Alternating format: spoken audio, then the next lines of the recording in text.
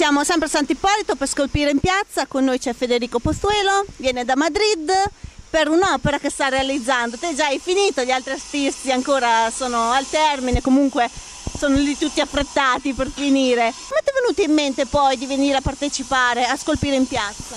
La verità è che l'ho visto sul Facebook, eh, di conoscenza, da amici, di un altro amici, guarda il bando e alla fine ho inviato il bando e sono qua.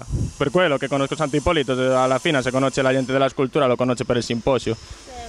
Quindi hai vinto perché molti so che hanno partecipato al bando, hanno inviato il disegno, lo schizzo della scultura e uno dei tuoi è stato scelto.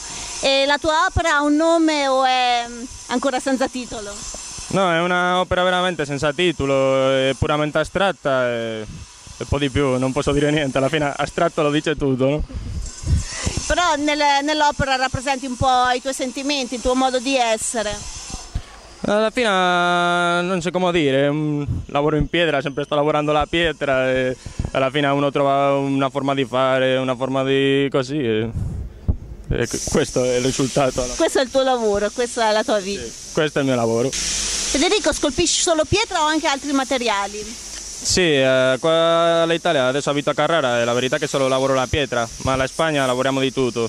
Abbiamo un laboratorio, si chiama Tagliere al Mortas e, e lavoriamo un po' di tutto, ferro, resina, pietra, un po' di tutto, modellazione soprattutto e ferro. Hai un sito internet dove possiamo andare a vedere? Eh sì, sul Facebook si può vedere, abbiamo una, un sito in Facebook che è Tagliere al Mortas Scultura e lì si può vedere perfettamente l'opera di tutti lo che lavoriamo lì. Perfetto, grazie. Eh, grazie.